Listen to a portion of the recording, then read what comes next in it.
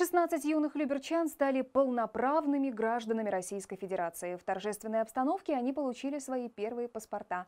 Главный документ юношам и девушкам вручил глава городского округа Люберцы Владимир Ужицкий.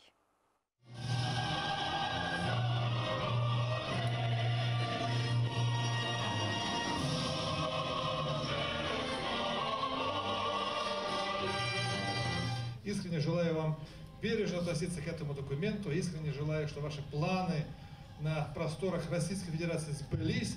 Вы, по сути, в только начале пути. Дерзайте, творите, совершенствуйтесь, и у вас все получится. Вместе с паспортом молодым людям вручили поздравительные адреса от губернатора Московской области Андрея Воробьева и главы городского округа Люберцы Владимира Ружицкого.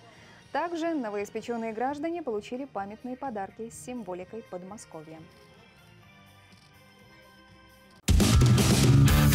Всем привет! Меня зовут Мария Кузьмичева. Вы смотрите ЛРТ. Подписывайтесь на наш канал на YouTube, ставьте лайки и будьте в курсе самых важных событий.